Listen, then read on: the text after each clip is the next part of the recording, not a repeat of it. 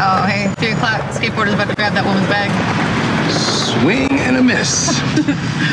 Tim! Man, are you hurt? No, I'm fine. Control 7 Adam 19. Show me on a traffic collision at Melrose and Gardner. A lot of cops for a fender bender. Officer involved accidents are very serious. Someone's getting a day at the beach. Day at the beach?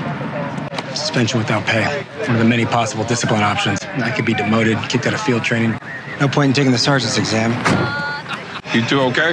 Yeah, Chop's not. What happened? I lost focus. The car just suddenly stopped.